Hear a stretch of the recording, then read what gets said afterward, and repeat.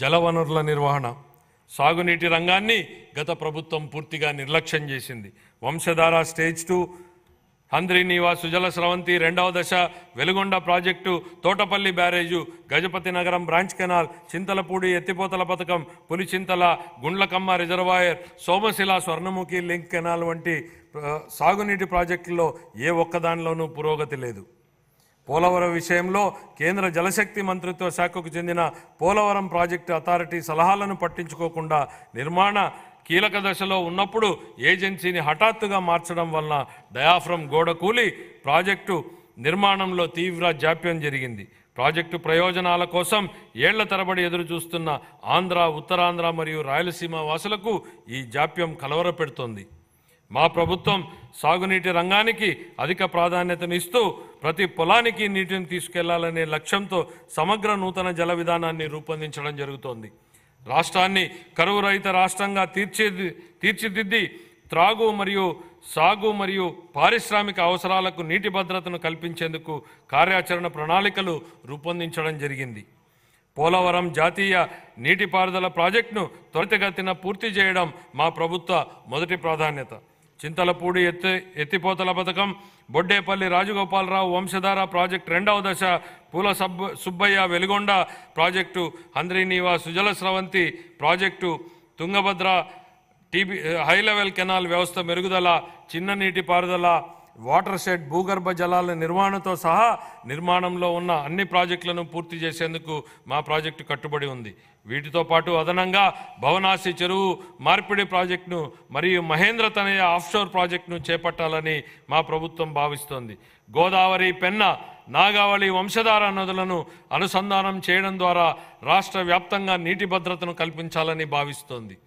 రెండు వేల ఇరవై నాలుగు ఇరవై ఐదు ఆర్థిక సంవత్సరానికి జలవనరుల శాఖకు పదహారు వేల ఏడు వందల ఐదు కోట్ల రూపాయల కేటాయింపును ప్రతిపాదిస్తున్నారు. జలవనరుల నిర్వహణ సాగునీటి రంగాన్ని గత ప్రభుత్వం పూర్తిగా నిర్లక్ష్యం చేసింది. వంశధార స్టేజ్ టూ హంద్రీనీవా సుజల స్రవంతి రెండవ దశ Veligonda project Thotapalli barrage Gajapathi Nagaram branch canal Chintalapudi ఎత్తిపోతల పథకం Pulichintala Gundlakamma reservoir Somasila Swarnamukhi link canal వంటి సాగునీటి ప్రాజెక్టుల్లో ఏ ఒక్కదానిలోనూ పురోగతి లేదు.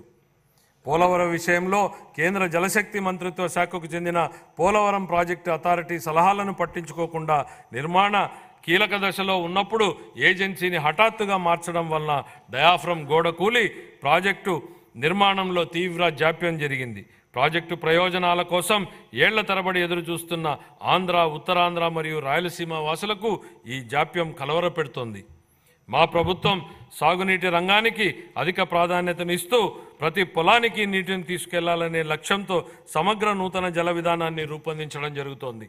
రాష్ట్రాన్ని కరువు రహిత రాష్ట్రంగా తీర్చి తీర్చిదిద్ది త్రాగు మరియు సాగు మరియు పారిశ్రామిక అవసరాలకు నీటి భద్రతను కల్పించేందుకు కార్యాచరణ ప్రణాళికలు రూపొందించడం జరిగింది.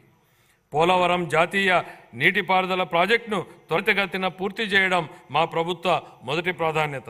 చింతలపూడి ఎత్తి ఎత్తిపోతల పథకం బొడ్డేపల్లి రాజగోపాలరావు వంశధార ప్రాజెక్టు రెండవ దశ Poola sub Subbaiah Veligonda project Handrineeva Sujala Sravanthi project Tungabhadra TB high level canal వ్యవస్థ మెరుగుదల చిన్న నీటి పారుదల వాటర్ షెడ్ భూగర్భ జలాల నిర్వహణతో సహా నిర్మాణంలో ఉన్న అన్ని ప్రాజెక్టులను పూర్తి చేసేందుకు మా ప్రాజెక్టు కట్టుబడి ఉంది.